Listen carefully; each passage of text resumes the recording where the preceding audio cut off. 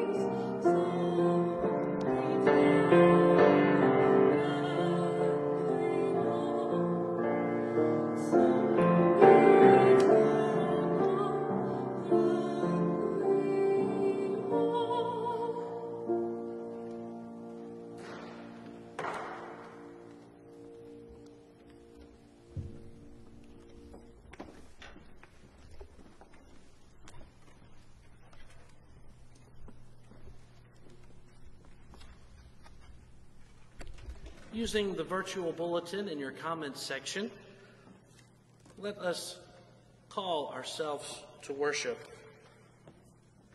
God of glory, your Son, Jesus Christ, suffered for us and ascended to your right hand.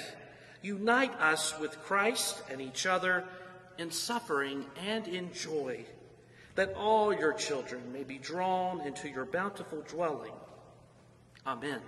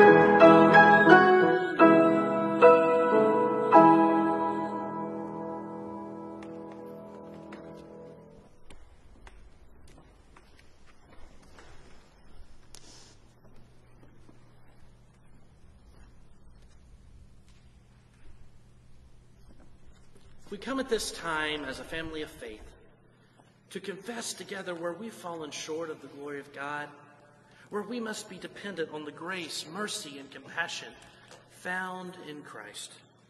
Looking at your virtual bulletin, will you read along with me the prayer of confession? Living and gracious God, through the death and resurrection of Jesus Christ, you have brought us out to a spacious place where we are called to live as those redeemed. We often squander our opportunities to bear witness to your love and fail to obey your commandments. Forgive us. Empower us by your Spirit to keep your commandments, that we may show forth your love with gentle word and reverent deed to all your people.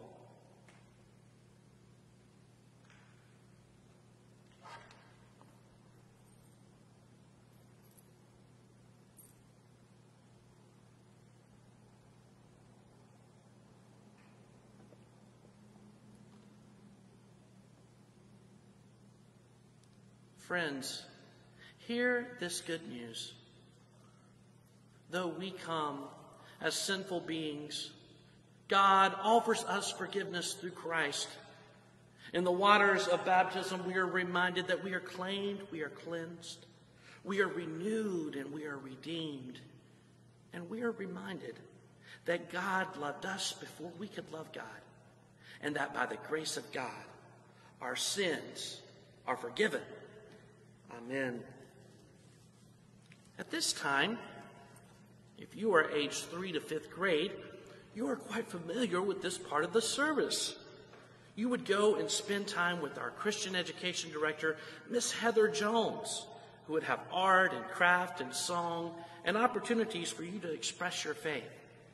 We look forward to those times in the future, and Miss Heather will be contacting you during the week to give you those opportunities. But right now, in the service, if you are in that age group, come a little closer to the screen because this is your time. We want you to know here at Lafayette Avenue that you matter. We're so glad that you're joining us in worship this morning. Sometimes during this time, We might feel different things. We sent you a package this week, especially to remind you that we're with you in this time and that, as we've said to all our uh, all ages of our church, we're in this together. One of those sheets that I gave you this week that if you'd like, you can color and fill out and send back to me, talked about when we feel scared. It said, How are you feeling today? And it said, Today I'm feeling scared. One of the things you can do in that time is talk it out with a trusted adult about a time maybe when they were scared or fearful. Another thing you can do, you see in your worksheet, is make a plan. Chances are, if you're scared of something today, you might be scared of it another day too. You should know that many of the things you're scared of is something that other folks are too. Lots of people are scared of the dark, or bugs, or big animals, or going to the doctor. So many things that can scare us, even the future right now. Sit down with a trusted adult and talk those things out. Some things that can help could be a night light that you turn on before dinner so your room will be all lit up when it's time to go to bed. New things, changes, those can be scary too. We've experienced a lot of changes in the past couple of months. And one thing you can do when you feel those feelings of fear or feeling scared is you can pray. So let's pray together right now about that. Dear God, I am so scared. Help me to not feel alone and reach out for help from my family and my friends. We gave you five of these worksheets, so take an opportunity and look at one every day. It deals with a different emotion when you feel curious, angry, happy, sad. Today we talked about when we feel scared. I hope you took that with you and you'll think about something that was said in a movie not long ago we went to together Frozen 2. Sometimes when we don't know what to do, we can remember what the character Anna said to us in the movie. She said, When we don't know what to do, sometimes the best thing we can do is do the next right thing. What's the next right thing for you? Thank you for spending this time with me. Let us pray. Holy Spirit, speak to us through your word that we would truly be attentive to what you're saying to the church today, that we would lay down our hearts and lives and agendas and let you breathe into us your message of hope and peace and compassion and assurance of your presence. And we ask all these things in your awesome name. Amen.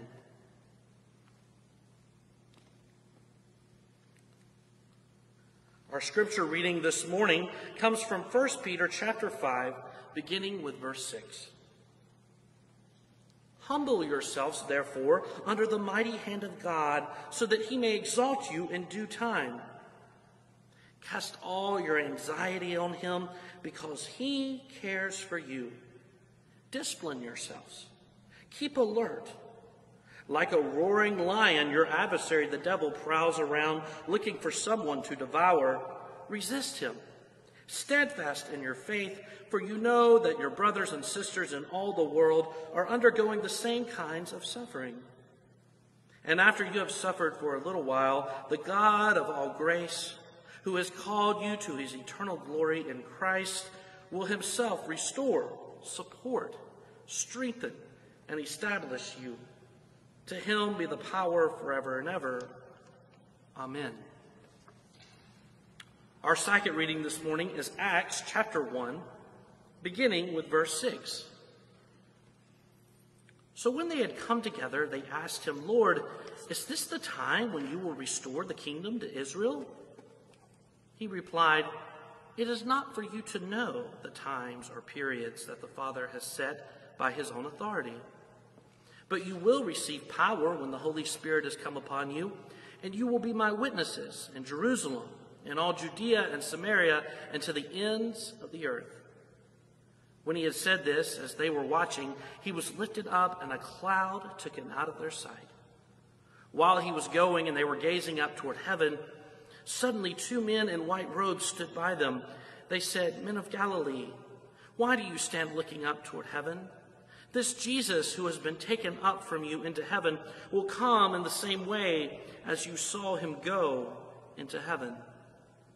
Then they returned to Jerusalem from the mount called Olivet, which is near Jerusalem, a Sabbath day's journey away. When they had entered the city, they went to the room upstairs where they were staying Peter and John, and James and Andrew, Philip and Thomas, Bartholomew and Matthew James, son of Alphaeus, and Simon the Zealot, and Judas, son of James.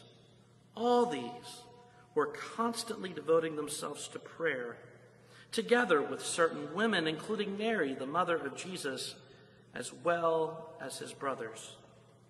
This is the word of the Lord. Thanks be to God this morning. It might be a frustration or it might be a relief to see the scriptures confirm today that the times are not in our hands. Apparently, the ins and outs of the Lord's timing, the coming and going of the Lord, are on a need to know basis. And apparently, as disciples and followers of Jesus, we don't need to know. In our scripture text today, we are called to be witnesses to Jesus, disciples of the way, but we don't need to know the when, apparently. The ascension of Jesus here on this Ascension Sunday had to be a confusing time for the disciples. All this glorious resurrection springing up around us simply for Jesus to go away? Was there feelings of abandonment? Perhaps at that time there were feelings of hopelessness. Yet this was the timing for a new thing the descending of the Holy Spirit, alive and active in and among us.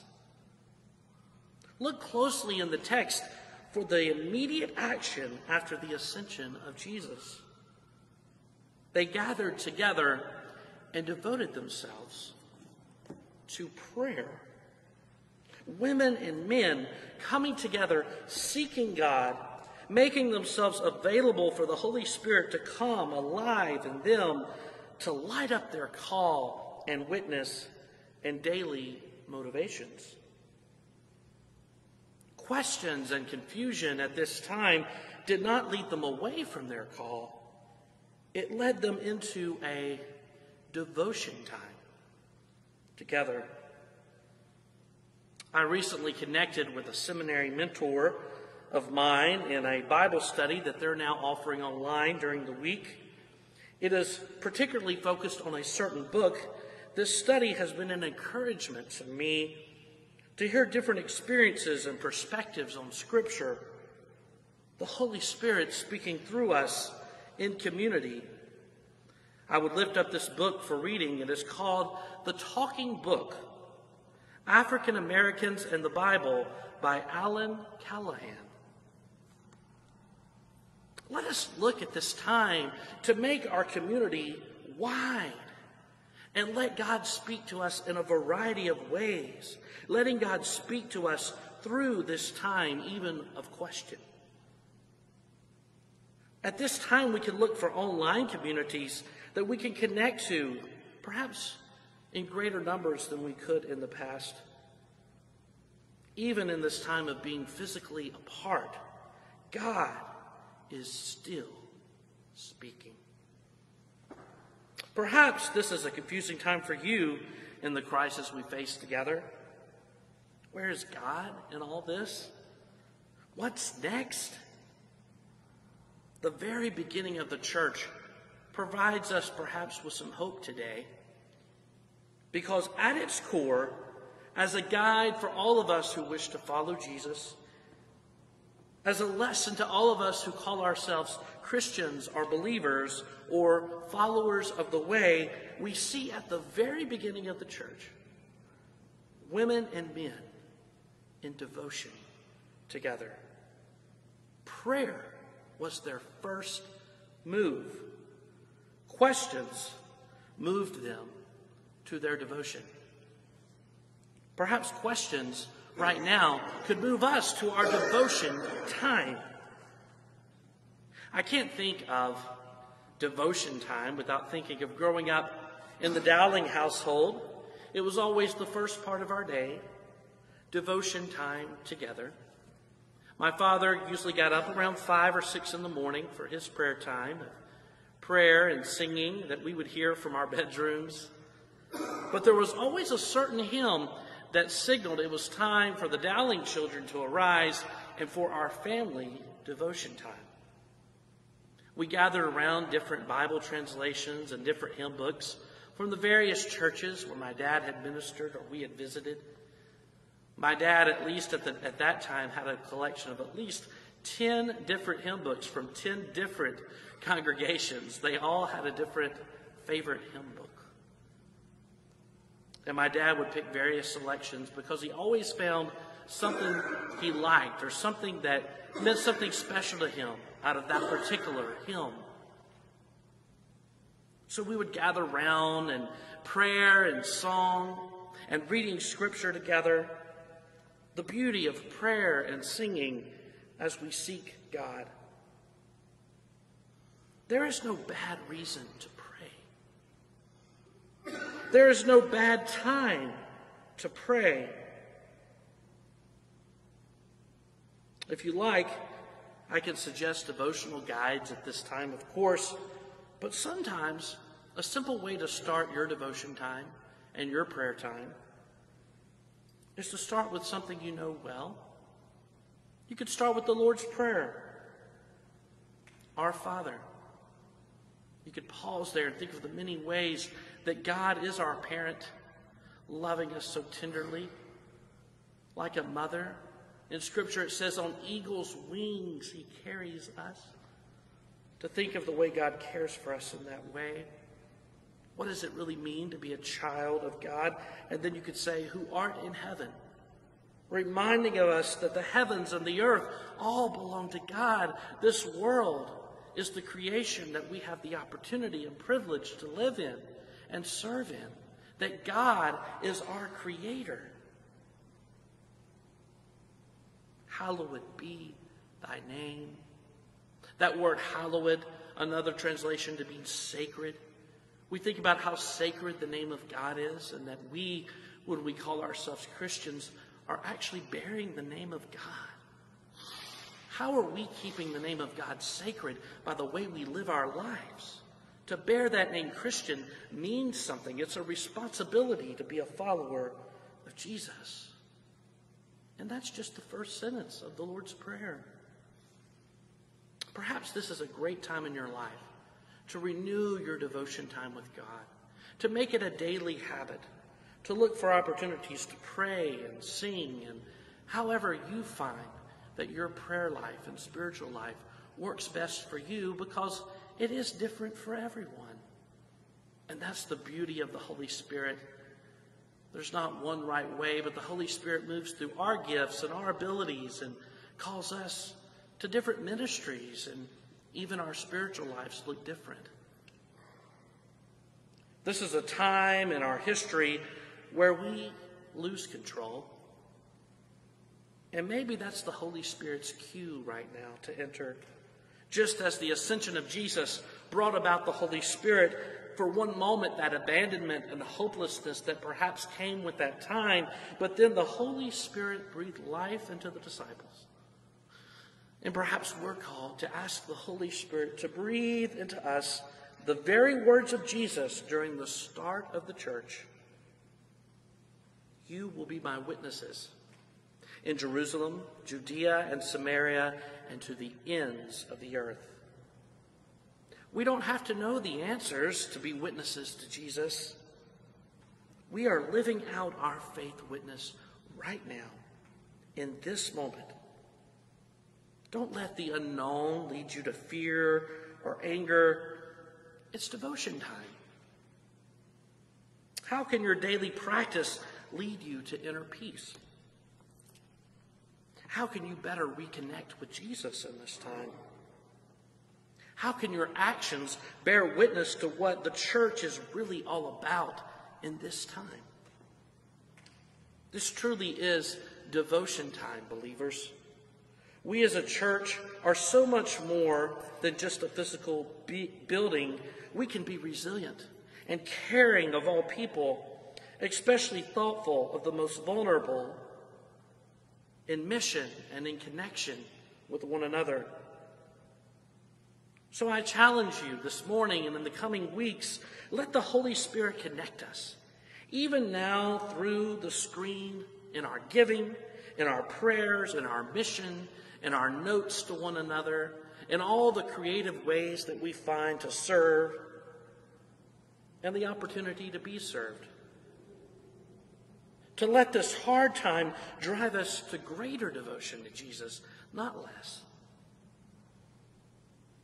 It was such a blessing this past week to be a part of karaoke with our children, led by Miss Heather. She's opened it up to all adults, and so there'll be another karaoke event in the next coming weeks, so be sure and look out for that. We would love for you to join us. So many great ways that we can connect and bring a smile. Because we are witnesses. Right now, maybe more than ever, we are witnesses, and the world is watching. Let us show our devotion is so much more than being in a building. Amen. At this time, we invite you to affirm our faith together using the Confession of the Church written over three decades ago. It is called a brief statement of faith. It can be found in your virtual bulletin or page 36 in our new PC(USA) hymnal. Christian, what do you believe? Jesus proclaimed the reign of God, preaching good news to the poor and release to the captives teaching by word and deed and blessing the children, healing the sick and binding up the brokenhearted, eating with outcasts, forgiving sinners, and calling all to repent and believe the gospel. But we rebel against God. We hide from our Creator. Ignoring God's commandments, we deserve God's condemnation. Loving us still, God makes us heirs with Christ of the covenant like a mother who will not forsake her nursing child, like a father who runs to welcome the prodigal home. God is faithful still. The same Spirit who inspired the prophets and apostles rules our faith and life in Christ through Scripture, engages us through the word proclaimed, claims us in the waters of baptism, feeds us with the bread of life and the cup of salvation, and calls women and men to all ministries of the church. In life and in death, we belong to God. Through the grace of our Lord Jesus Christ, the love of God, and the communion of the Holy Spirit, we trust in the one triune God, the Holy One of Israel, whom alone we worship and serve. Amen. We invite you at this time for a time of prayer together as a community. In our prayer, we will have a time of silence allowing you to put prayer requests in the comments section below.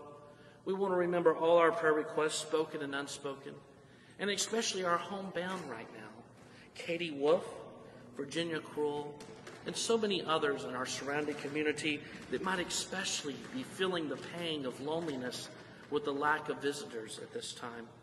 Please be in prayer for them as we look to minister to them by bringing packages and cards and gifts although we cannot physically visit at this time. As we have upcoming Memorial Day, we want to remember all those who have fallen in the line of duty. We want to pray for peace. Peace in our world and peace in the hearts of all those who have experienced loss and pain through war and through service. And with a spirit of gratitude to all those who serve. Let us now, at this time, pray together. Lord Jesus, Thank you for the opportunity we have to come to you with all our requests and needs, thanksgiving, joys, and sorrows and brokenness, knowing that we really can cast all our care on you. All our fears and anxiety and worries for the future, we truly can bring. We can bring the full complexity of ourselves because you have not asked God for perfection, but that we would, that we would bring all of ourselves. And in your compassion and love, and by the moving of the Holy Spirit in our lives, we would be called to be witnesses at this time. So enable us this week to be answers to prayers. And now we bring our many requests to you as a community of faith.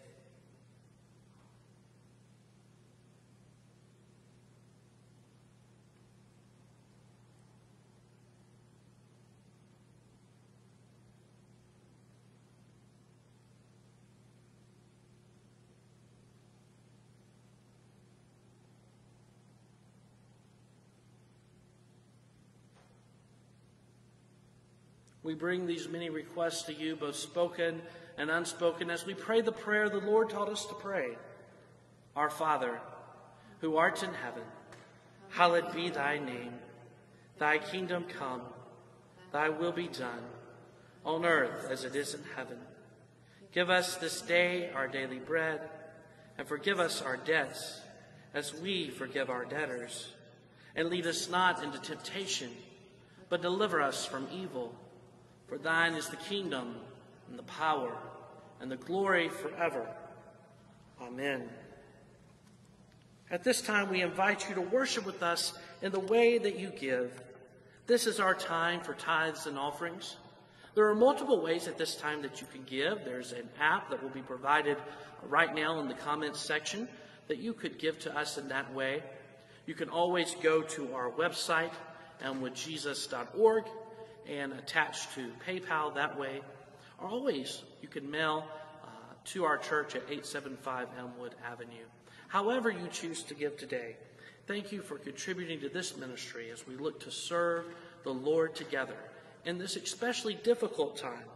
So we ask you to give from your hearts as we worship together.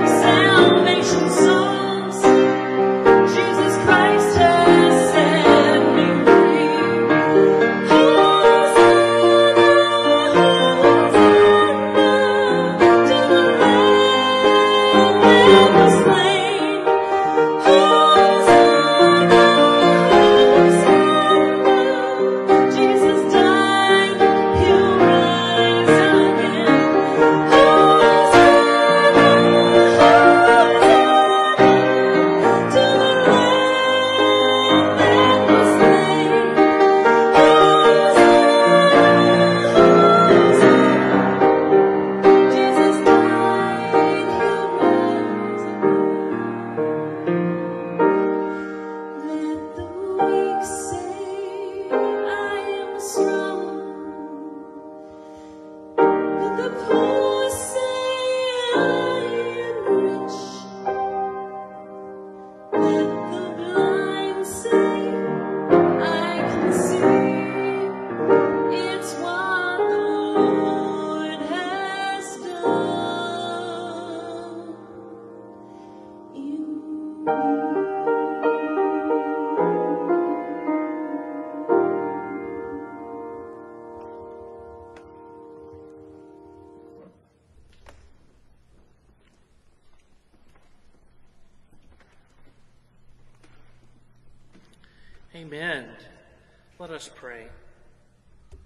Is with gratitude that we receive these gifts, tithes, and offerings this morning.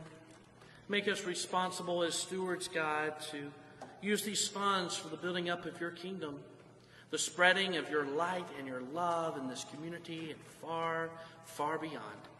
And it's in your awesome name we pray. Amen. So this week, look for how you could be a witness to Jesus, not because you have all the answers, but because we have been called and enlivened by the Holy Spirit to show God's love and peace and compassion in this world.